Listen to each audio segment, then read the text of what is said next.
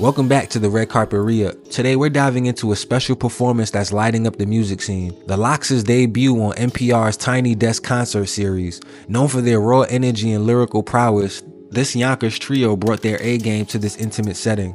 Let's break down their unforgettable performance and what made it a standout moment in hip hop history. The LOX took to the Tiny Desk stage with a set list that spanned their impressive career. They performed eight tracks in total, including classics like Money, Power, Respect, Recognize, and Jadakiss's solo hit We Gonna Make It. The group infused these classics with fresh energy, delivering them with their trademark charisma and chemistry. For this performance, the LOX stepped out of their comfort zone by working with a live band. They recruited Jack White's drummer, Daru Jones, along with vocalist LaAsia, and the Tiny Desk veterans Cartoons and Kiefer on bass and piano. They even brought in a string section for powerful renditions of We Gonna Make It and Money Power Respect, adding a new dimension to their classic tracks. The LOX' Tiny Desk debut is more than just a one-off performance.